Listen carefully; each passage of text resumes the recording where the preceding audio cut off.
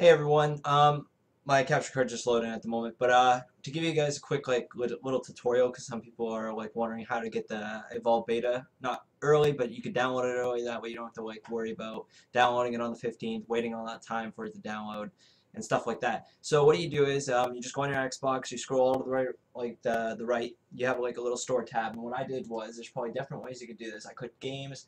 You could obviously see uh, prepare for the hunt, a truly big game. Like that's just the on the home screen there of games. But if, what I did was, uh, I personally just went here to the search bar, and I just type in Evolve here.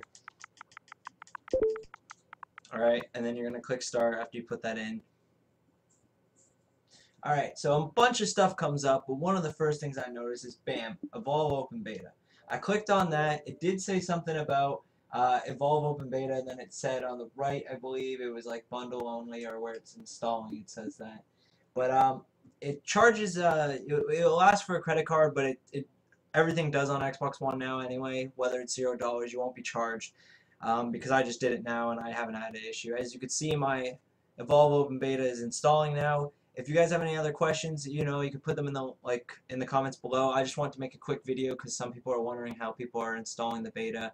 Obviously, there are people streaming, but a lot of them are devs or people uh, with the media and stuff that were able to get early access. So this is just allowing you to download the beta because right now it's only January 13th.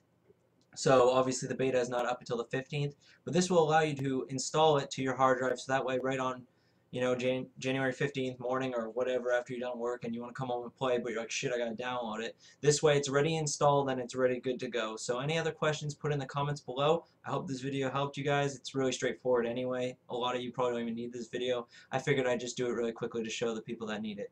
So uh, yeah, happy hunting everyone.